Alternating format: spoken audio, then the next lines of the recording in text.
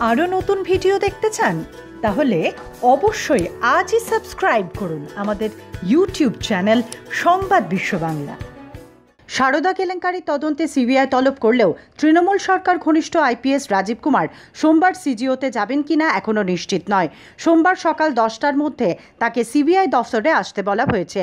এদিকে জানা গিয়েছে, সোমবার সকালেই রাজীব কুমার বারাসত আদালতে আগাম জামিনের আবেদন জানাতে চলেছে। আদালতে কাজ শুরু হয় সাধারণভাবে সকাল সাড়ে দশটা নাগাদ।